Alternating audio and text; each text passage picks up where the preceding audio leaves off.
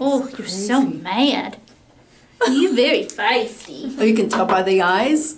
Uh, just just looking at um, her overall demeanor, she wants to bite me. Nice healthy eyes.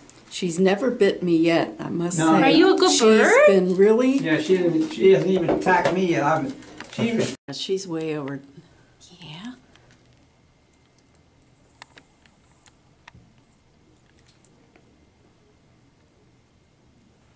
Are they pretty long? They're pretty long. I'm not going to take them too too short this time because that might be a little painful for her. So we'll do it again in like a month or so, and we can take them a little shorter. Okay. Good girl. Boy.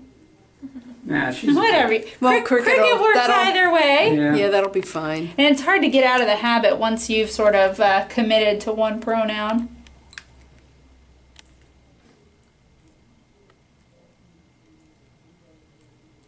Yeah, good. Hardest part about doing these is not burning myself. Mmm.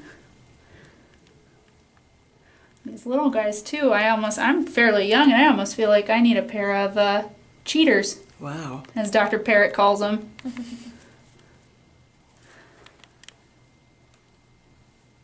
oh, you're so good. So her body. Okay. This just amazes me so much. Yeah. You a good bird, huh? They're such a You're such a- lively little birds, and they're so beautiful. The the the saddest thing is just their lifespans are so short compared with so many of the other pets. Give me that foot back. Oh, you got me with those nails. Those are sharp. Goodness.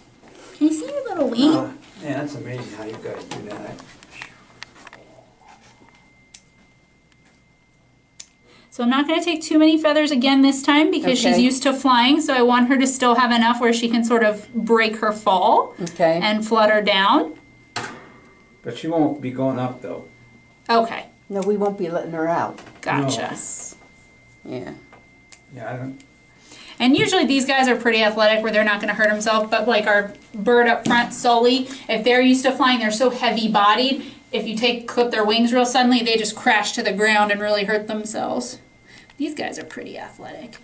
They have well, this- she does it, she works out in a cage. Oh, I bet she On the lower does. part of the cage, she, ju- she flies around parallel to, to the three bars down there.